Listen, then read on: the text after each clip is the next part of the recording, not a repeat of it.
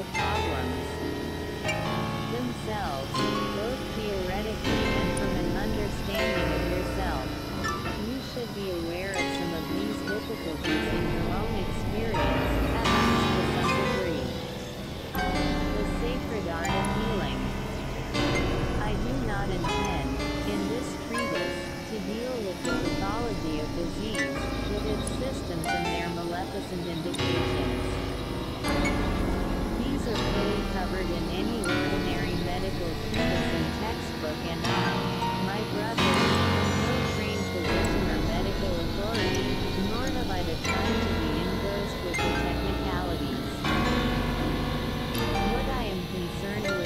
give the world some idea of the true and occult causes of disease and their hidden origins, and with the work of healing as it is carried on and sanctioned by the Great White Lodge.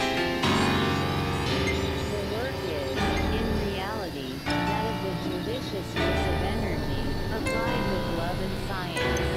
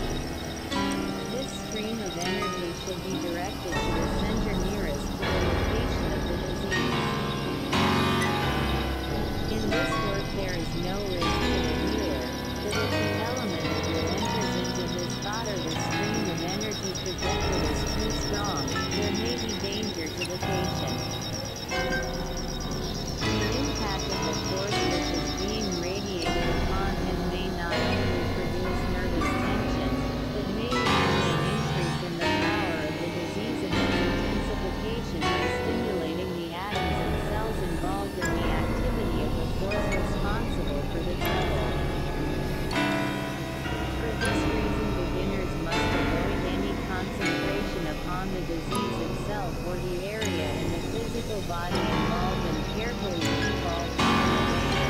Once the preliminary work has been done, her energy ever follows thought and goes where the thought is focused. The healers have to determine the effectiveness